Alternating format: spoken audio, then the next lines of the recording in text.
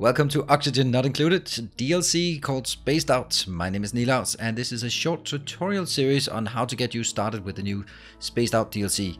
So everything you know about the, the early game, or basically everything you know about the game, is kind of turned upside down and things are very different in the new DLC. So it's not necessarily easy to come up with solutions, but it's kind of one of the cool things about it. So I've uh, spent a bit of a of time just figuring things out and I want to share it with you in these short tutorials. Uh, these will be focused on the, let's say the four main aspects, water, power, food and oxygen. You can also say temperature is also one of the key aspects, but temperature is super easy to manage in the new world. So there's no point in us actually getting there. Speaking of the new world, let's have a look at what it is. This is a swampy world, so you can see there are different plants, different critters, more different critters, more different plants, and it's full of swampiness. So that's really weird. That's why we are going to take a look at this one. This is all recorded in early access, so if you, something changed, or so things are subject to change, of course. If you like the idea of these kind of tutorials, then hit the like button and uh, let me know in the comment section below if there are other topics that you'd like to see tutorials for, for the new DLC. Here we are. We are in the in a new world. This is a good place to just get a sense of our surroundings. If we go to screenshot mode, we can zoom out a bit. That's uh, Alt S. Uh, you lose the overlay, but you can zoom out a bit. Since this is uh, dealing with the water, I think that's the one we want to look at. Yes, you can see here a bit of polluted, lots of polluted, lots of polluted, lots of polluted, polluted, polluted, polluted, polluted, polluted, polluted. Everywhere is polluted oxygen or polluted water, and there's very little real clean water. So the first thing you absolutely have to take care of, which is not necessarily a, an easy thing for me, is you got to take care of your polluted water. No, you got to take care of your normal water. Don't mix it up with normal. This one is clean, no food poisoning in it anywhere. Actually, no food poisoning in any of it at this point. So, but do take care of it. And don't try to make sure that it doesn't mix like it is here. And uh, try to manage that. That's going to be your main point about managing your water. And uh, but the thing is, you might look at this and go, "Wow, this is going to be difficult." However, in this uh, playthrough or in this tutorial, I'll show you how to just generate an absolute ton of water quite easily from the surroundings you have. But we're going to need a bit of a base just to get it started. So I am going to jump a bit forward, 35 cycles into the future, and then uh, I'll show you a base and then go through how I'm getting my water in here. So here we have on my base, 37 cycles in, and what you can see is that we actually have uh, quite a bit of polluted water. I've been collecting the polluted water, I've made a nice big stockpile of it, but our main problem here is the fact that we are actually running out of the normal clean water, and that's what we really want to do. So we have this thing called a new building. It's, it's, it's called a sludge press and we really want to put it in here just to show you what it can do. And we'll just do that one and speed things up and then hopefully someone will come over here and build the sludge press for us. Yeah, come on in. Get on with it. So the sludge press is a new machine that's being added. What it does is it takes polluted, let's have a look at it, mud to dirt and water or polluted mud to polluted dirt and polluted water. So it basically takes something you have in vast quantities and you can just do this one. Now we just want to set it up. I'll give it a bit higher priority so something happens. In the meantime, we can go over here and take a look at our mud reservoirs here. 63 tons of polluted, 54 tons of mud.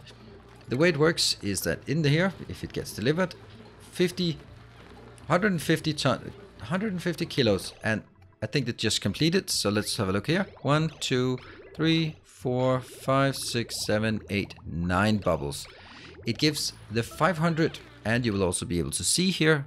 Uh, okay, that's actually just not necessarily correct because it completed twice. So 150 kilos of mud becomes 60 kilos of dirt, which you use for your plants, plus 90 kilos of water, and there are no germs in this water. So with this one, yes, it does require some dupe operation, but um, hey, it looks so cute, cute when they do that. And uh, yeah, so this is how you will generally produce an absolute ton of water. And polluted mud and polluted mud and polluted mud doesn't really have a use anywhere for anything. So getting that as uh, converted into water is super efficient and also converted into dirt because dirt is also what you're going to need for keeping your farms alive. So this will take care of a lot of your of your water needs for the early game because having a dupe operation and then get 90 kilos of water definitely going to be satisfactory. This one was at 200 when we started and just by me chatting away we were up to 600 kilos and when that one's completing we'll see here that it'll just to go up more as well. So definitely this is a great way to top up your water supply. You won't be needing anything else as long as you have this one. Uh, what you can do is you can also let this one be down here so that it will automatically only fill up to a certain limit because when this one is underwater it doesn't pressure or doesn't output that means it'll backlog backlog on the pipes and then will, this will naturally get stuck and cannot operate because the output pipe is blocked. That's a cheaper way to do automation by just submerging the output vent, the liquid vent. So that's one cool way to do this. Uh, very easy. You can also do it for polluted water. Polluted water, you can say, is you should have a lot of polluted water, and when you really start needing a tons and tons of polluted water, then this is probably not the best way to do it. But there are other ways and actually more sustainable ways that also do not require some dupe operation. And uh, let's take a look at those.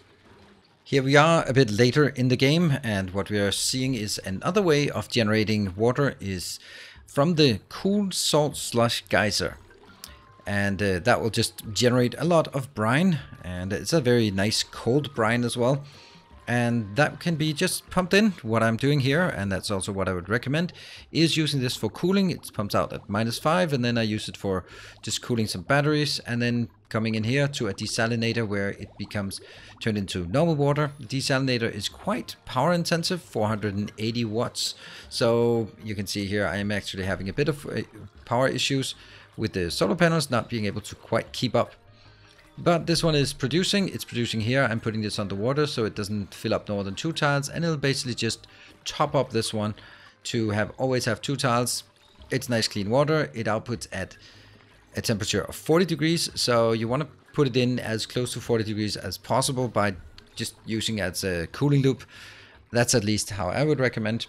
What um, and then you go like, yeah, but what if I don't have one? And then I can say you will have one.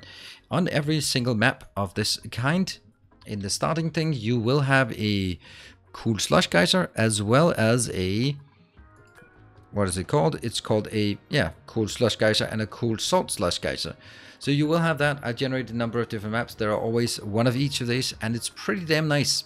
This one though is uh, stuck, I guess.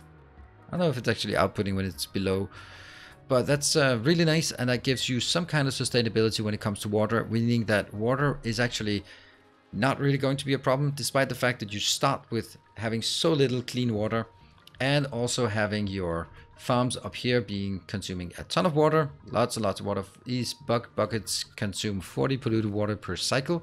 So you really want to make sure that you have a steady supply of water and you do have that with a cool slush geyser and a cool salt slush geyser on the map. So I would recommend doing that and uh, just uh, using those for feeding the base and that will keep you happy and going all the way until you need to go to other other bases.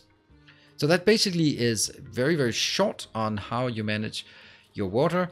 The fact that you you start out by not having much and that can be a bit stressful but uh, the sludge sludge press is a super good way to top up but at the cost of some dupe energy or dupe activity. And if you want to take that out, then I would recommend desalinator. I'd rather use the desalinator than I would use the water sieve. The water sieve converting the polluted water to normal water because the polluted water is useful in and of itself, while brine is not particularly useful. So, uh, therefore, this is why I've chosen this path, and the polluted oxygen or polluted water geyser can then be used for all sorts of other cool things. And that should basically get you sorted with all the water you need uh, both in a starter way and in a sustainable way once you move a bit further into the game.